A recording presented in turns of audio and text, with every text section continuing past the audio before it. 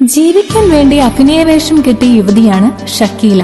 സിനിമയിലേക്ക് പ്രലോഭനങ്ങൾ നൽകി കൊണ്ടുപോവുകയും ഒരു വിഭാഗത്തിനു വേണ്ടി മാത്രം സിനിമ ചിത്രീകരിക്കുകയും അതിലൂടെ നീലചിത്രത്തിലെ നായിക എന്ന ബഹുമതി അർപ്പിക്കപ്പെടുകയും ചെയ്തു. വലിയവരെന്ന് സ്വയം പറഞ്ഞവരിൽ ചിലർ മറ്റു പേരുകളിൽ ഷക്കീലയെ നായികയാക്കി നിരവധി ചിത്രങ്ങൾ നിർമ്മിക്കുകയും സംവിധാനം ചെയ്യുകയും ഉണ്ടായി. ഇതിലൂടെ നിർമ്മാതാക്കൾ ലക്ഷങ്ങളാണ് നേടിയതും സമ്പന്നരായതും. അപ്പോഴെല്ലാം തുച്ഛമായ പ്രതിഫലമാണ് ഷക്കീലയ്ക്ക് നൽകിയത്.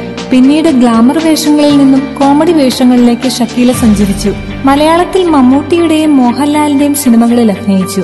ഇതിനിടയിലാണ് ജാഫർ കാഞ്ഞിരപ്പള്ളി ഷക്കീലെ കൊണ്ട് ഒരു സിനിമ സംവിധാനം ചെയ്യാൻ തീരുമാനിച്ചതും ഷൂട്ടിങ്ങിന് തുടക്കമിട്ടതും. നല്ല സിനിമകൾ സംവിധാനം ചെയ്യുമെന്ന് പ്രഖ്യാപിച്ച ഷക്കീലയുടെ സിനിമയുടെ പൂജാ ഹാളിലേക്ക് മാന്യന്മാരെന്ന് നടിക്കുന്നവർ ആരും തന്നെ എത്തിയില്ല. എന്നാൽ പഴയ ചില നിർമ്മാതാക്കളും സംവിധായകരും ഷക്കീലയെ കാണാനും നീലചിത്രങ്ങൾ സംവിധാനം ചെയ്യാനും എത്തി. ന്യൂ വേവ് സിനിമ പോലെ ഒരെണ്ണം ഷക്കീലയുടെ പേര് വെച്ച് സംവിധാനം ചെയ്താൽ സിനിമ സൂപ്പർ ഹിറ്റ് ആവുമെന്നാണ് ഷക്കീലയുടെ പഴയ നിർമ്മാതാക്കളും സംവിധായകരും വെളിപ്പെടുത്തിയത്. വന്നവരെയൊക്കെ ഷക്കീല നിരാശപ്പെടുത്തി അയക്കുകയും ജാഫറിന്റെ രണ്ട് സിനിമ സംവിധാനം ചെയ്യാനുമാണ് തീരുമാനിച്ചത്. ഒപ്പം തമിഴ് തെലുങ്ക് മലയാളം സിനിമകളിൽ അഭിനയിക്കുകയും ചെയ്യുന്നു.